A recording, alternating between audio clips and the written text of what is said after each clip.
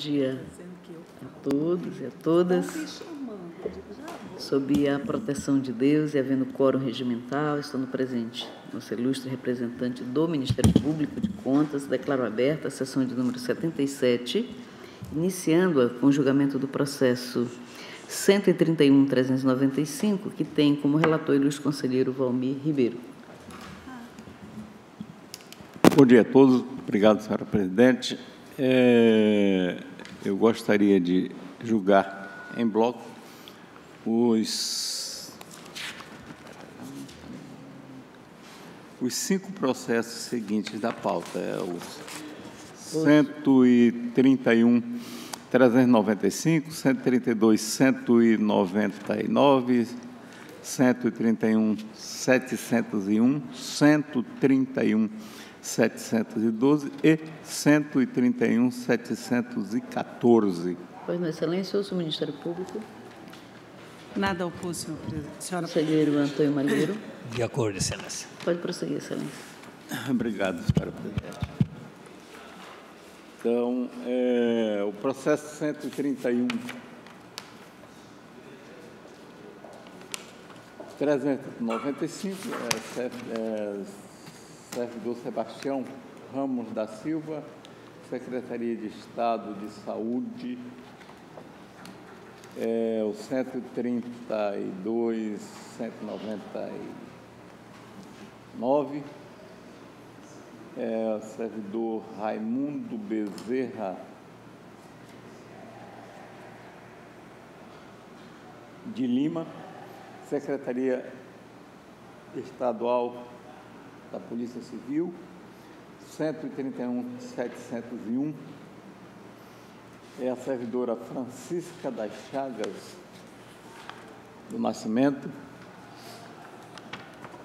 é a Secretaria Municipal de Educação do município de Rio Branco, processo 131.712, servidora Ana Maria Agostinho Farias, é, da Secretaria Municipal de Educação do município de Rio Branco, e o processo 131.714, servidora Francisca Oliveira do Nascimento, é, Secretaria Municipal de Educação do município de Rio Branco. Tratam os processos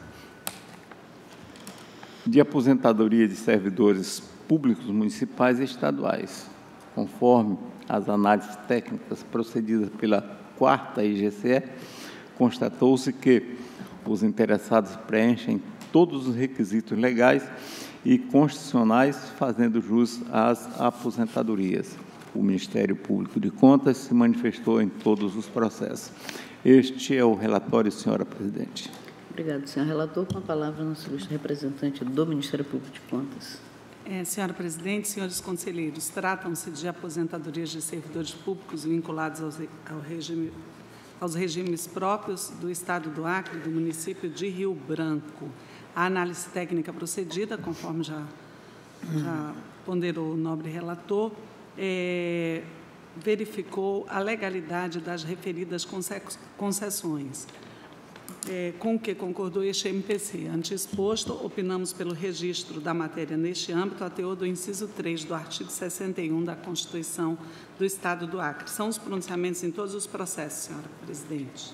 Obrigada, senhora procuradora. Com a palavra, conselheiro relator. Obrigado, senhora presidente. Voto visto e analisado os presentes processos e ainda consubstanciado nas análises técnicas da quarta IGCE, bem como nos outros pareceres do Ministério Público de Contas, concluo votando. Primeiro, pela legalidade de registro das aposentadorias. Dois, pelo encaminhamento de cópia dos processos aos servidores, digo, aos respectivos institutos de previdência para as providências cabíveis. Três, pela notificação dos interessados para tomarem conhecimento das decisões. Quarto, após as formalidades de estilo, pelo arquivamento dos autos. É como voto, senhora presidente, senhor conselheiro. Obrigada, excelência. Em votação, conselheiro Antônio Malheiro. Acompanho o voto, excelência. Eu também acompanho voto, os votos do conselheiro relator e assim decidiu-se por unanimidade nos termos dos votos por ele propostos. Agora, o processo 124.364, que tem como relator o conselheiro Antônio Jorge Malheiro, aqui eu passo a palavra. Obrigado, Excelência. Excelência, eu pediria também para nós julgarmos em bloco os seis próximos processos. Faça a decisão anterior, prossiga, Excelência. Obrigado, Excelência. O primeiro processo trata da aposentadoria da servidora do quadro permanente pessoal do município de Rio Branco, da Secretaria de Educação, senhora Iriné do, do Carmo da Silva. É, a mesma tem tempo de serviço líquido de 32 anos, 308 dias, e a quarta inspetoria aponta que a servidora preenche todos os requisitos constitucionais para fazer jus à aposentadoria voluntária do magistério por tempo de contribuição, enquadramento e fixação de proventos no grupo 4, é, nível 1, letra I, com R$ 4.628,75.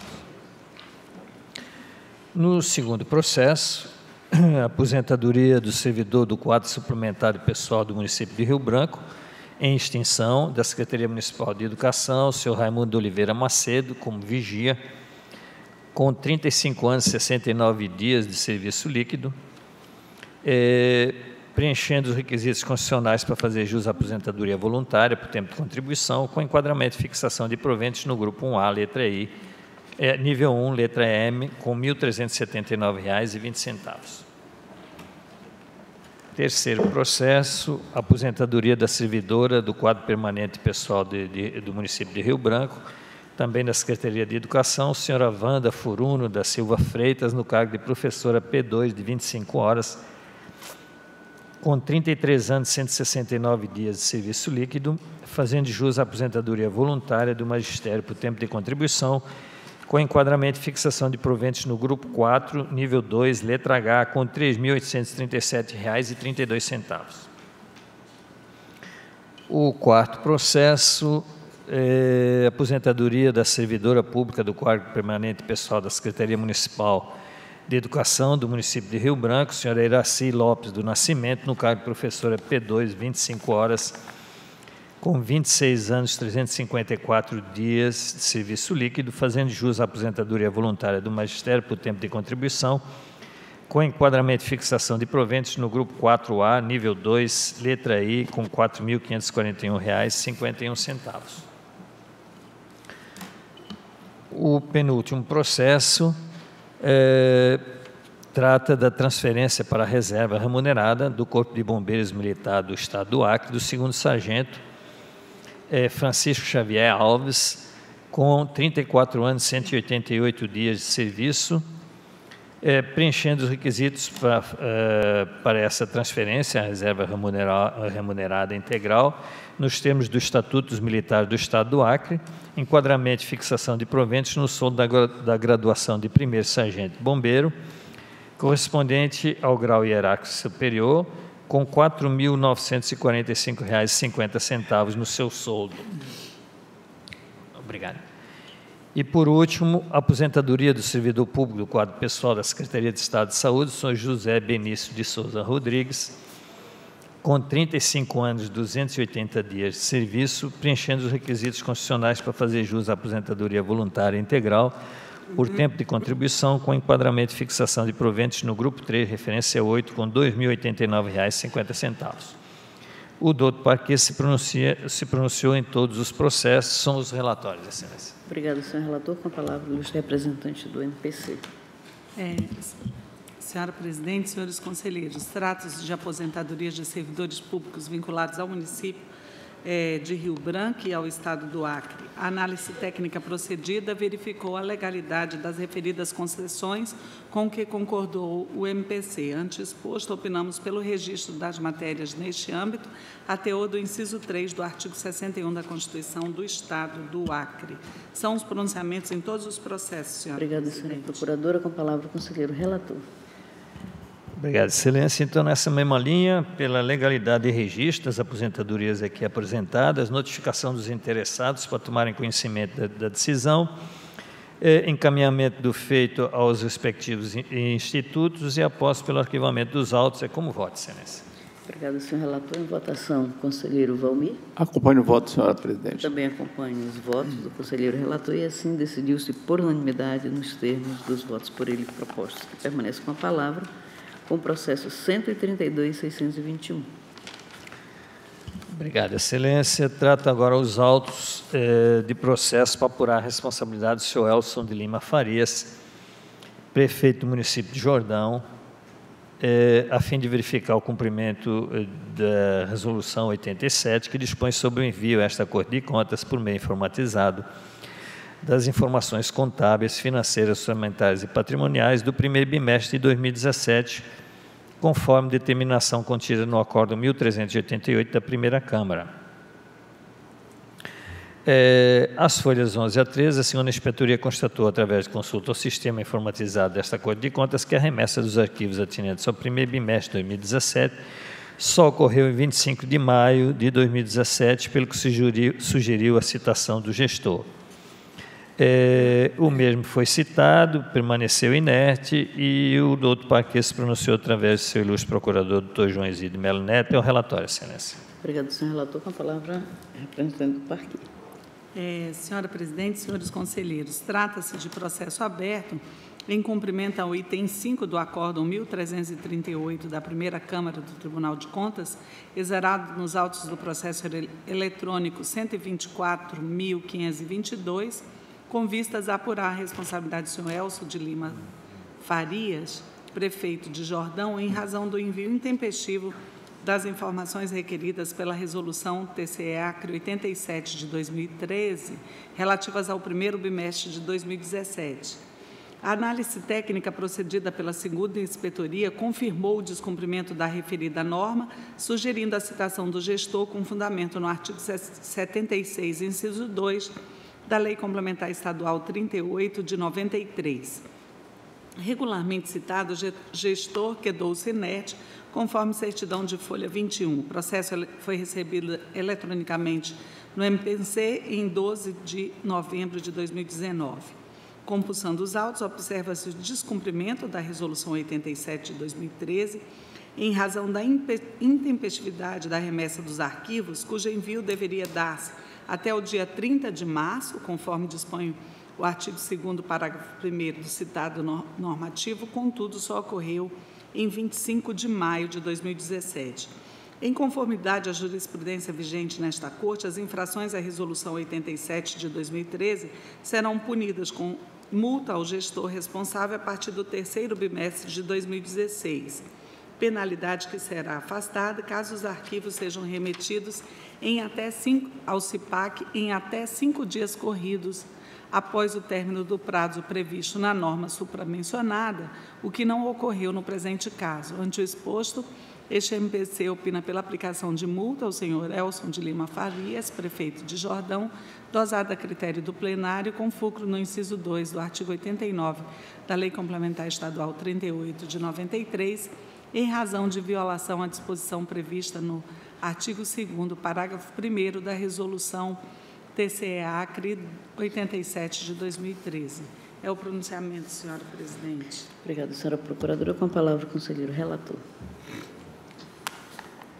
Excelência, dada a revelia no processo, eu voto pela aplicação de multa ao gestor no valor de 3.570 e aposto pelo arquivamento dos autos e como voto, Excelência. Obrigada, Excelência. Em votação, o conselheiro Valmir. Acompanho o voto, senhora presidente. Eu também acompanho o voto do conselheiro relator e assim decidiu-se por unanimidade nos termos por ele proposto. Eu me pediria agora ao conselheiro Valmir para presidir os trabalhos da sessão enquanto eu relato os meus processos processo 13 e 14 da pauta, os dois últimos. É, em pauta o processo 124.847, que tem como relatora a nobre conselheira Dulcinea Bendir de Araújo, quem concede a palavra. Obrigada, Excelência. Eu gostaria de julgá-los, é, julgar os dois processos em bloco. Pois não, já é, tendo em vista estarmos, o Ministério Público já ter conhecimento. A Vossa Excelência está com a palavra. Obrigada, senhora procuradora, doutora Ana Helena, conselheiro Antônio. Trata-se de apreciação da legalidade de registro da concessão de aposentadoria no primeiro processo da senhora Maria Luzia Nunes dos Santos, matrícula 13455-1, com proventos integrais no cargo de professor P2, grupo 4, nível 2, letra I, do quadro permanente de pessoal da Secretaria de Educação do município de Rio Branco. E o segundo processo da senhora Clarice Garcia de Lima, também da Secretaria de Educação do município de Rio Branco, proventos integrais, cargo de professora P2, grupo 4, nível 2, letra I do quadro permanente de pessoal. A DAFO, através da quarta inspetoria, se manifestou nos dois processos pela admissibilidade da concessão de aposentadoria pelo preenchimento dos requisitos legais pertinentes à matéria. O Ministério de Contas se pronunciou nos dois feitos por sua ilustre procuradora, doutora Ana Helena de Azevedo Lima. Com a palavra o Ministério Público Contas para o seu pronunciamento. Senhor presidente, senhora e senhor conselheiro, tratam-se de aposentadorias de servidores públicos vinculados ao regime próprio do município de Rio Branco. A análise técnica procedida verificou a legalidade das referidas concessões com que concordou o MPC. Ante o exposto, opinamos pelo registro das matérias neste âmbito, neste âmbito a teor do inciso 3 do artigo 61 da Constituição Estadual de 89. São os pronunciamentos nos dois processos senhor presidente. Com a palavra, a nobre conselheira relatora, para proferir o seu voto. Obrigada, excelência. É, nos dois votos é pelo reconhecimento da legalidade, o consequente registro nesta corte das aposentadorias aqui é, julgadas, da senhora Clarice e da senhora Maria Luzia Nunes dos Santos, pelo envio de notificação às interessadas do teor da decisão encaminhamento de cópia do processo ao Instituto de, de Previdência do município de Rio Branco, RB Prévia, a partir da autuação e registro nesta Corte de Contas. E no processo da senhora Maria Luzia Nunes dos Santos, também é, encaminhamento de cópia ao Instituto é, para retificação da, da atuação para correção do nome da inativa e após pelo arquivamento dos autos. Só uma correçãozinha aqui feita, será feita por nós, né? A retificação da autuação para correção do nome da inativa e após pelo arquivamento dos autos são os dois votos nos processos, Excelência. Ok, em votação, conselheiro Antônio Jorge Malheiro. Acompanho o voto, Excelência. Acompanhando o voto também da nobre conselheira relatora, decidiu-se a unanimidade nos termos do voto da nobre conselheira relatora. Passo a presidência do trabalho à nobre conselheira Dulcinea Benício de Araújo, muito obrigado. Eu é que agradeço, conselheiro Valmir, e os processos se encerraram. E há algum expediente a ser lido? Não havendo também expedientes a serem lidos, passo agora as comunicações com a palavra da doutora Ana Helena. Nossa última Obrigada. sessão desse ano. pois é, eu, é, senhora presidente, senhores conselheiros, senhoras e senhores, é, é a última sessão da nossa Câmara, né? Nesse ano de 2019, eu quero agradecer o convívio durante todo esse ano, né? Agradecer a todos que ajudaram nos nossos trabalhos e aproveitar a oportunidade para desejar um feliz Natal e um 2020 cheio de paz, saúde e muita prosperidade para todo, para todos nós.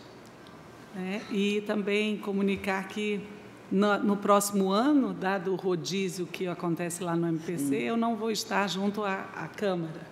Mas, com certeza, aqui na primeira, doutor Mário vai estar, o doutor Sérgio deve vir para a primeira Câmara. Nada mais, senhora presidente, apenas desejar um bom dia a todos. Obrigada, senhora procuradora. Conselheiro Valmir. É, da mesma forma, senhora presidente, eu quero é, parabenizar, em primeiro lugar, Vossa Excelência pelo primor que teve com a primeira é, Câmara na, é, à frente é, dos trabalhos. É, me sinto cada dia mais honrado em participar desse Tribunal de Contas e, em especial, dessa primeira Câmara. Muito obrigado. É, desejar a todos também um feliz Natal, um próspero ano novo e que no próximo ano estaremos aqui juntos novamente, se Deus quiser e Ele vai querer juntos trabalhando em prol do Tribunal de Contas do Estado do Acre. Muito obrigado. Conselheiro. Excelência, eu quero corroborar tudo que foi dito aqui, fazer das palavras de todos minhas também, cumprimentar todos os presentes, nada mais a comunicar. Obrigada. Queria também é, agradecer a doutora Ana por esse convívio nesse ano, dizer que é sempre um prazer renovado tê-la conosco é, e dizer que a sua participação aqui na Câmara ela enriquece bastante. Agradecer a todos que nos ajudam né, no cumprimento das nossas funções aqui no Tribunal, especialmente aqui em relação à Câmara, destacando aí o trabalho né, intensivo da quarta IGCE, né, que se destaca aqui no, no julgamento dos processos da Câmara. Agradecer os nossos assessores, agradecer cada um dos conselheiros, agradecer a Érica e todos que nos tornam possível realizar esse trabalho de uma maneira correta. Não havendo nada mais a tratar, suspendo a sessão para os procedimentos de estilo e convoco outra para dia e hora regimental ano que vem. Está encerrada a sessão.